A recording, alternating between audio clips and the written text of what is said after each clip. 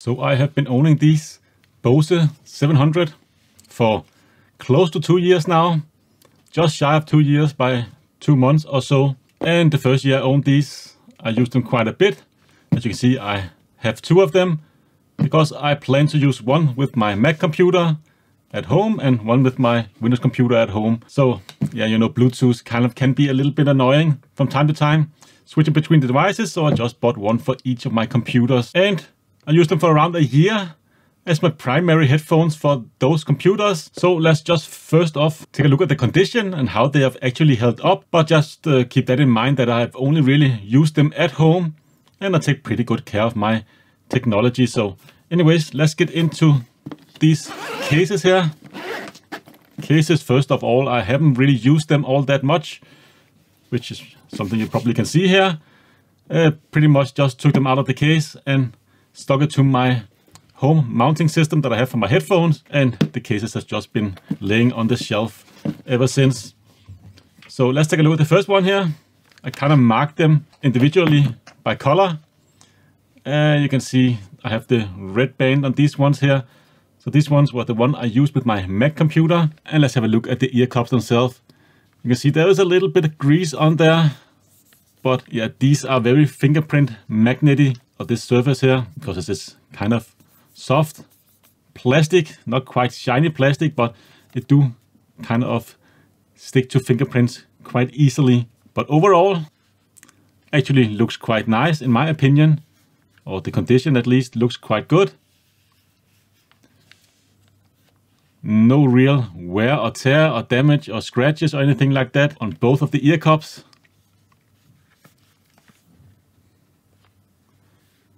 And one thing I was a little concerned actually when I got these was this kind of design where there's no clear notches between the adjusting the length here of the headband. I was a little concerned that, that maybe it would just continuously get out of place and I had to continuously adjusting it. But actually I've not had any issues with this at all. It's been re working reliably for, for me personally. And I kind of like it actually and I really like this design here. One of the nicer looking noise cancelling headphones out there, at least in terms of those over-ears types, as well as the headband here. Of course, there is some uh, a little bit scratchy there. Actually, I don't think that will come off. No, but yeah, something like this, of course, is what you should expect. But other than that, there's no tear or breakage or anything like that on the headband itself. Feels nice and soft still. No issues at all. And I have no problems with the headband at all, as well as the ear cups, of course. Still the original ear cups I have on here, but of course you can buy these replacement. So pretty easy to take off and replace those, but they are just so super soft and comfortable. Even though leather or fake leather type ear cups is not really my preferred. Definitely get very hot wearing these, and that's one of the reasons why I don't really use them as much anymore. The other reason is, of course, I don't really need, noise cancelling headphones that much at home. Don't find it that useful. But the reason why I actually took this out, they have been in this case for around six months or so. I haven't really been using it for all that time. And uh, the reason why I took them out now and thought it would be interesting to make a video about these is because we have some construction going on in my building. So a lot of drilling and a lot of noise during the daytime. And I thought it would actually be quite curious to test these noise cancelling headphones out again. They're quite a bit more comfortable than the in-ear type for like AirPods Pro or Samsung Galaxy Buds Pro that I have also. These are definitely more comfortable to wear for longer periods of time, but my ears do get quite hot with these and yeah, I don't really like this fake leathery material. Even though it's very comfortable, very soft, like I said, it just gets my ears so warm after a half an hour, an hour or so of wearing these. But the overall minimum wear and tear on these headphones here. I think they have held up excellently. Still looks quite nice. I would say pretty close to new condition. Of course, a little bit of fingerprint gunk on one of the ear cups there, but yeah, I should be able to just wipe that away. So this is the ones, I actually think I've used these the most with my Mac because yeah, Windows and Bluetooth is not really the best solution or best combination. So these ones here, I believe I've used a little bit less actually than the other pair. And you can see I have the green kind of tape on those. So I can kind of distinguish between the two. As you can see here, These are pretty much in mint condition. Headband here as well, still looks quite nice. I don't have any scratches on the top of the headband here. Ear cups, of course, still very soft and plushy and hasn't been worn out at all. Definitely, I think these headphones have held up great in time. The reasons why I don't really use these anymore is because, like I said, I don't really need noise cancelling headphones. And I've kind of transitioned over to gaming headphones like these Logitech G Pro Wireless X, I believe, is a G Pro Wireless X. It's kind of my primary headphones right now.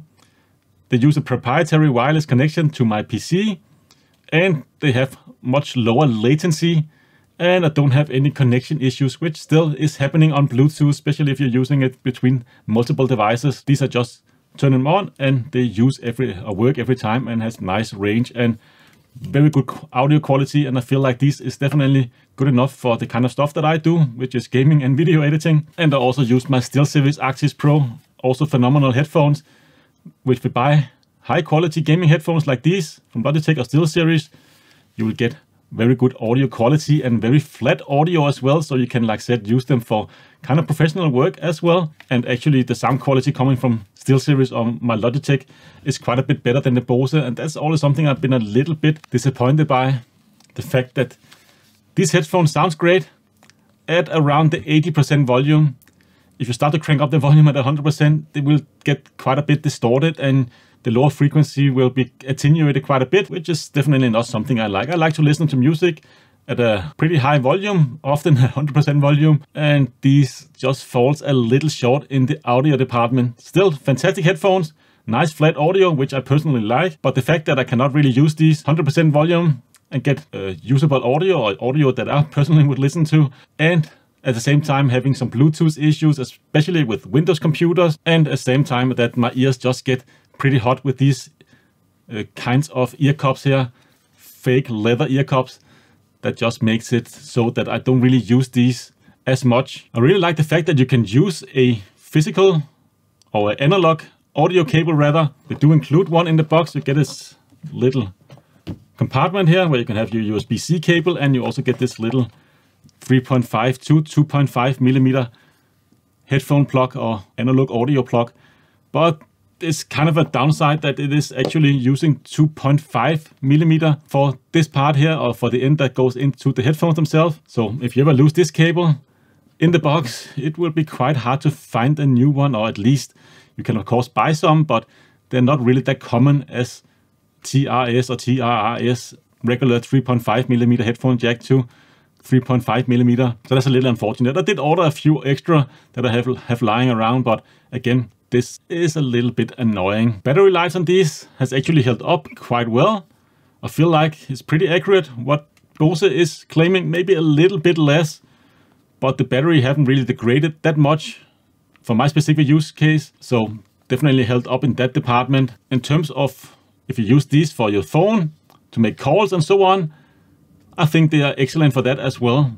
At least the other person in the other end haven't really noticed that I've been talking through a headphone Sometimes these headphones here can sound pretty awful, but this is definitely one of the better ones out there. I don't have any experience really with uh, voice assistants or anything like that. I tend just to disable all of that features, but I do really like the touch control that are on the headphones. If you know them and if you are used to using them, swiping back and forward and up and down, it's quite nice. But if you handle them or handle them to other people who have not really experienced with this, can be a little bit annoying. They pause the music or turn the volume up and down when you actually just want to, or they just want to listen to something. So if you know the, the features and how to control these, it is an excellent mode and I've had no issues with that at all. One thing or one area that I've had some issues with these headphones is with the included or with the app that is required to actually use the headphones and pair them up with multiple devices, which is called Bose Music. Of course, you need to use this to pair them up or to connect them to a smartphone. I've not had any issues as of late, so maybe they fixed it. Like I said, I haven't really used them for like six months or so. Or so. Some smartphones, specifically Android phones, I've had issues connecting to the headphones. And like I said, I've had some issues connecting to my Windows computer. Sometimes it will connect to both devices. Of course, you can connect them Bluetooth 5 headphones here to two devices at the same time, even though you can only stream from one device to the headphones. But switching between the two devices, streaming from my computer, for instance, pause that and want to stream from my phone, sometimes I've had issues with that. I've not had issues like that as of late, actually, when I set them up again and tried them again. But with some Huawei phones, I've had issues connecting to the headphones themselves. They will pair up just fine with the phone, but I had to continuously repair them to the phone. And that got pretty annoying. And you can see, like here, for instance, I just paired them up yesterday. Should be good to go, but apparently I have to repair them again It's a little bit strange. So it seems that issue is not really gone away.